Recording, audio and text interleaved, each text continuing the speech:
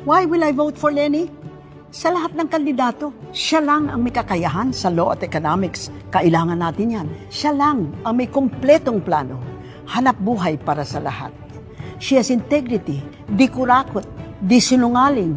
Yung iba kasi gusto lang maging presidente for the power. Si Lenny, gusto maging presidente to serve the people. Ako si Winnie Monson and I am for Lenny Robredo